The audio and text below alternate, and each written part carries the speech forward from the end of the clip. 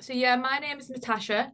Um, I'm just finishing up my PhD at the University of Central Lancashire in the UK.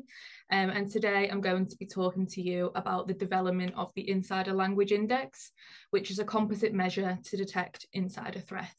And this forms part of my wider PhD research, in which I'm looking at insider threat through individual language use. So, what exactly are insiders? Well, insiders are often present or former employees or business partners who have legitimate access to a company's information, but they compromise this information for malicious reasons, and that could be for revenge or for personal gain. The threat that insiders pose to organisations continues to be a significant concern. For example, in 2016, a former employee at Google became unhappy with his engineering role at Google's self driving car project, and so he decided to steal 14,000 Google files, which related to a $1.1 billion technology project, and he sold these information to Uber, his new employer. This data breach demonstrates the extent to which undetected insider threats can have significant and detrimental losses for our organisations, and it presents a need for us as researchers to do better. So, the majority of insider threat literature has focused on technology and developing technologies that help organisations monitor who is accessing their systems. But this doesn't really help the organisation because once that system has been accessed, the attack has occurred, and the company is therefore on their way to losing a lot of money. So, my research attempts to solve this problem. And so, I look at the insider threat problem from the perspective of the human, in the hopes that we can decipher the similarities and differences between insiders and non insiders so that we can help those organizations detect a potential insider before the attack occurs. And to do this, I focus on language. So, when considering the current insider threat literature, like I said before, there isn't much research really um, that has looked at language specifically, but there is some growing research to suggest that some language characteristics, for example, pronoun use, pronouns such as I and we, um, language related to negative emotion, and language related to cognitive processing can actually be useful to focus on when we're trying to detect these deceptive and malicious insiders. So, for example, when we think about first person singular pronoun use, so that would be pronouns such as I, previous research has found that this is associated with an increase in self focus and a decrease in organisational commitment, which is often found to be the experience of insiders. Other research has found that actually those first person plural pronouns, such as we, are associated with a decrease in that self focus and an increase in community spirit and that sense of belonging. For example, research conducted by Cohn et al. in 2004 found that after the September 11 attack of the Twin Towers in 2001, people started to use an increased number of these personal pronouns, such as we, as they dealt with that incident together. So, negative affect is another language characteristic that has been found to be associated with these deceptive insiders. And the presence of this language category comes from the idea that these insiders are often frustrated or disgruntled with their company. And that might be because, you know, they haven't been offered a promotion or their companies fail to recognize their accomplishments. And so as a result, they become deceptive insiders for reasons such as revenge. So research has found that this is associated with workplace behaviours. For example, research conducted by Workman et al. in 2007 found that people who were more disgruntled and frustrated actually showed an increase in this negative workplace behaviours. For example, organisational theft increased um, in this study. And so we can start to see the similarities here between that of organisational behaviour and insider activity. A third linguistic difference between insiders and non insiders relates to the cognitive load that can sometimes be experienced by insiders. For example, when an insider is about to conduct their deceptive task, they may have to exert additional mental effort. And this is because they still have to carry out their daily workplace tasks, but they also have their insider tasks to carry out as well. And so their ability to process this information can result in reduced cognitive clarity. And this can often present itself through their language, as insiders might use an increased number of words related to cognitive processing. These are words like um and hmm when they're struggling to kind of process everything that's going on.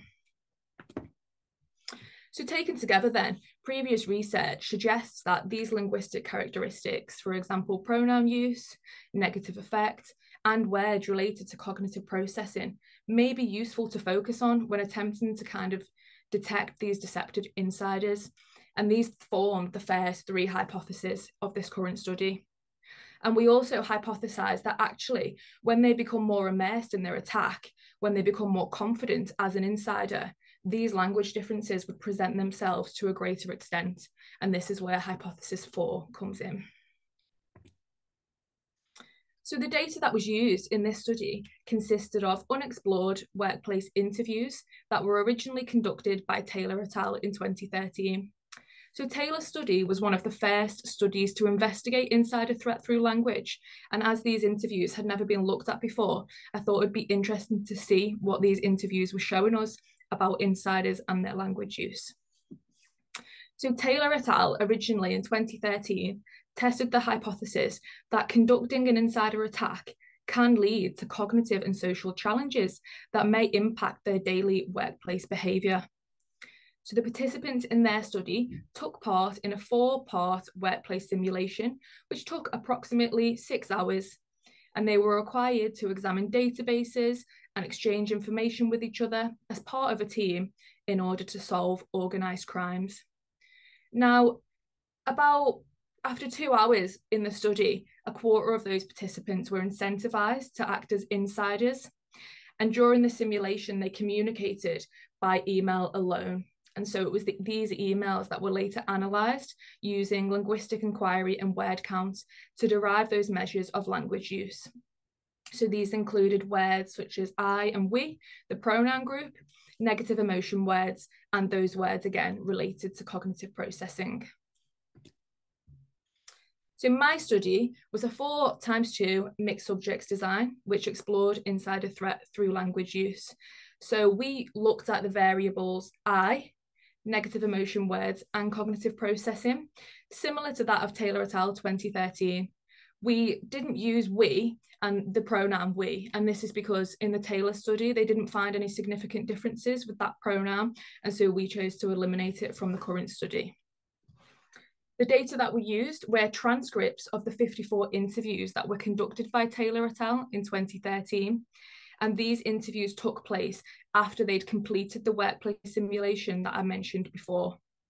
Again, this involved those participants working together to solve organised crimes.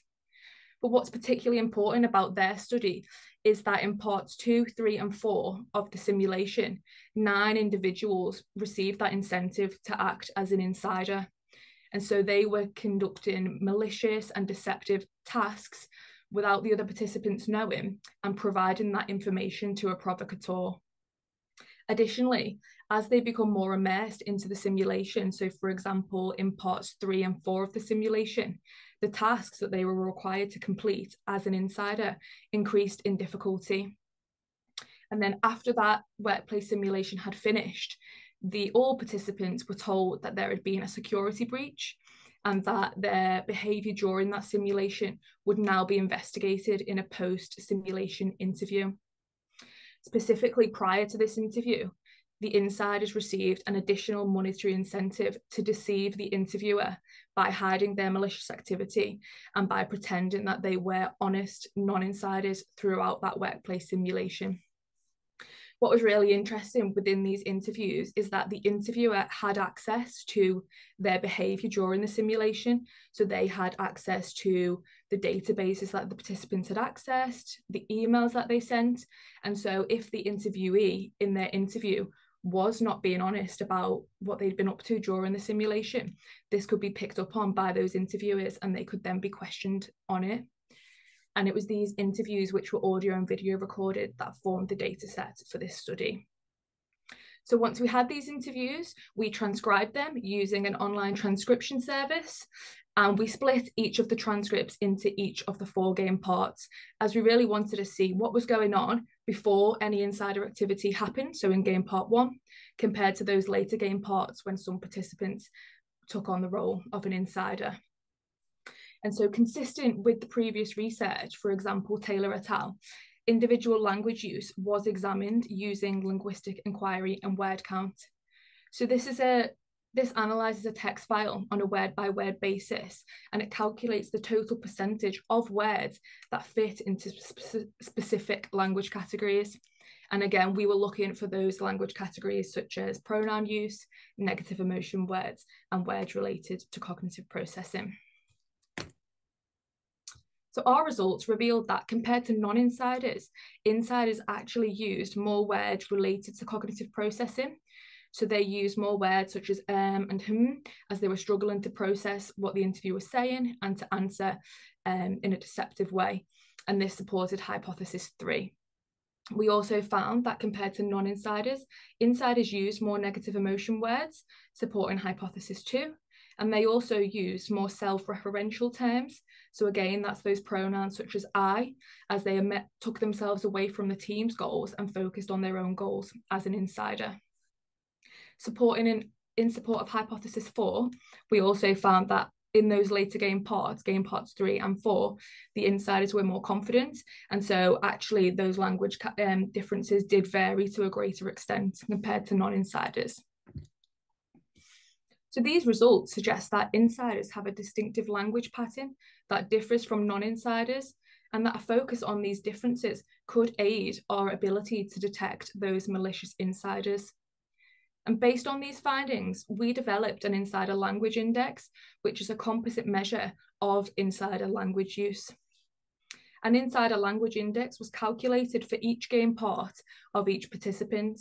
And so to do this, we calculated standardized Z scores and aggregated the scores based on the language categories that were found to be significantly different for insiders. So as you can see from the graph here, interviewees with higher ILI scores used a greater amount of insider language throughout their interviews.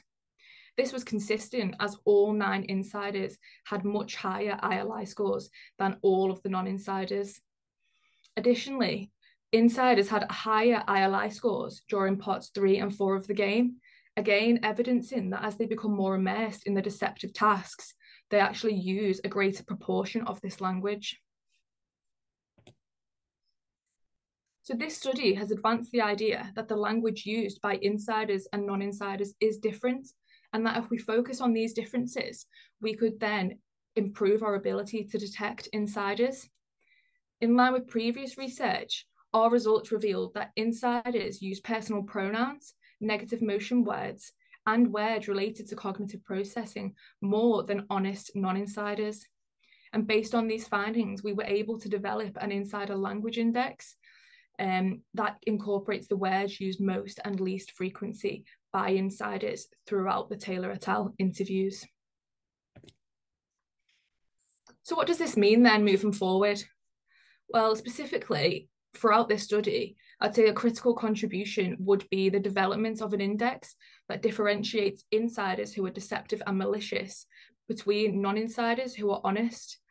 And it presents these differences based on their patterns of language use. Specifically, this is the first index of its kind that measures language features unique to insider activity. So currently, there are no other indexes that can do this. Theoretically, this advances our understanding of the extent to which language can aid our understanding of individual cognition and motivation. And practically, it opens up the potential for the development of language based models of malintent that can be used in the early detection of insider threat and this specific early detection can then help those organisations prevent further losses, such as the ones by Google in 2016. Thank you very much for listening.